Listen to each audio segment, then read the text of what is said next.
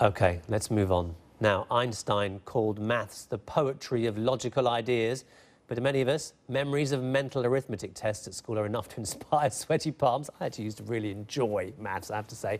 But at the elite end of the subject, the really elite end, it seems change is afoot. Maryam Mirzakhani, who's an Iranian-born professor who lectures at Stanford University in the US, well, she's just been awarded the Fields Medal and that's the maths equivalent of the Nobel Prize to you and me, virtually. Her work focuses on understanding the symmetry of curved surfaces and she's achieved widespread acclaim. But she's the first woman in nearly 80 years to take that top prize, and we want to know why. So with me are Dr. Helen Wilson, who's a mathematician from University College London, and Joseira Martins, who's a mathematician and a TV presenter of the Portuguese TV show This Is Maths.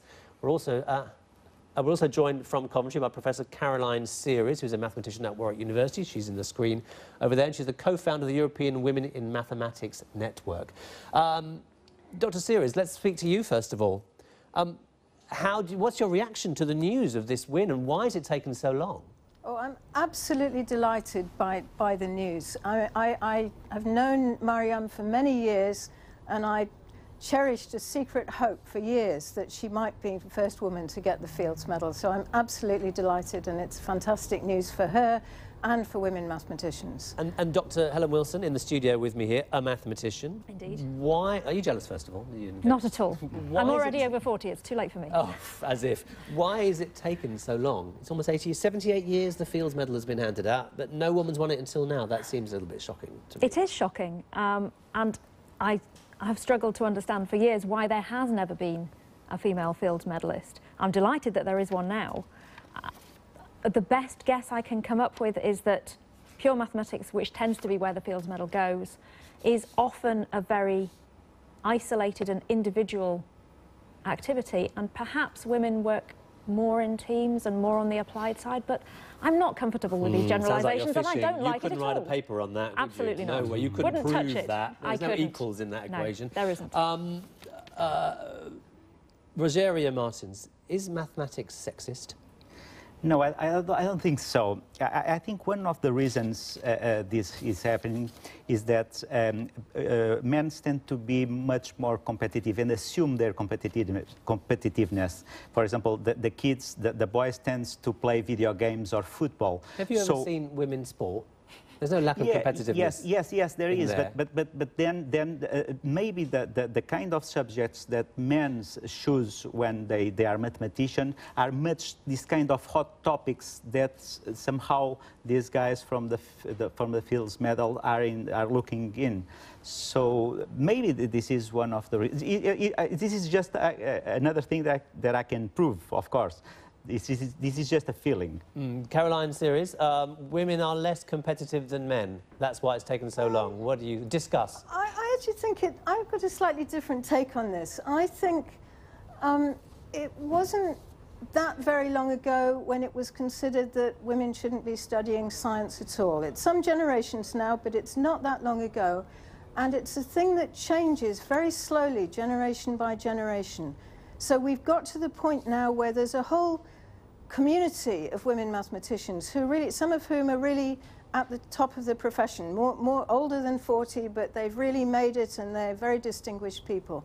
And somehow the idea that there's this whole kind of uh, supportive crowd of people around you, um, not exactly role models, because at the level at which Maryam is, is working, she doesn't really need role models, but nonetheless, I think there is something about having a community of women.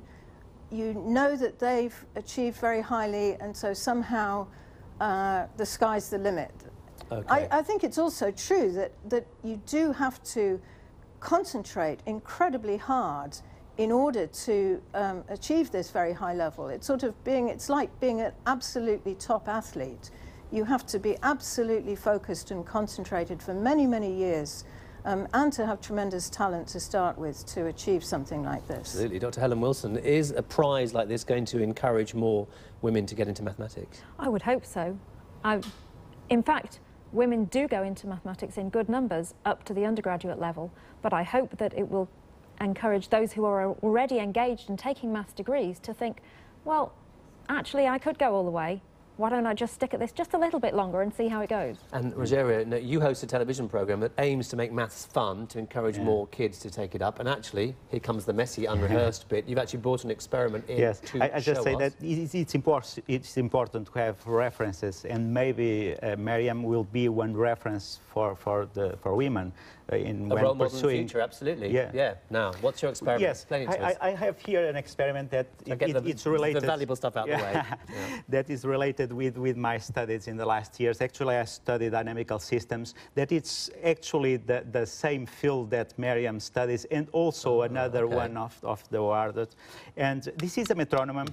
And uh, uh, what, what happens is that if we have two metronomes, this is a device, probably everybody knows what this is, but this is to make, uh, when someone is playing Well, an when you play the instrument. piano, you wanna keep in yes, time, yeah. Yes, Yeah. you keep in Yeah. time.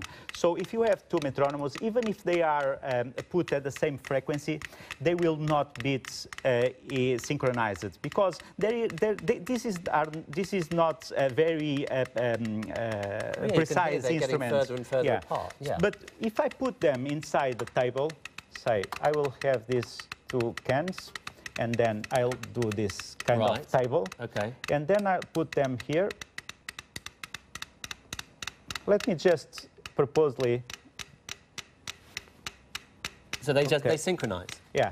If we if we wait a little bit, uh, they will tend to adjust. They are, of course, they are somehow communicating through this oscillating table. Okay. And if we wait a little bit, say half a minute, they, they will tend to see how they are They almost just got back together, they just synchronised together. Yes. Okay, why? Why does this happen? Well, this is called a phenomenon. It is a phenom- phenomenon called synchronization. It, it was discovered by Christian Huygens on the 17th century, and right now we know that this is everywhere.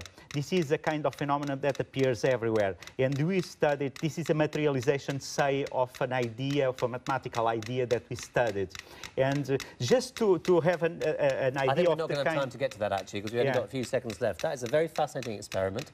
I feel like I've learned something. Thank you very much indeed. There you go, making maths fun. Thank you to all my guests. Fascinating uh, experiment. Really good to have that uh, that medal winner be a woman. I think. Hopefully breaking bounds.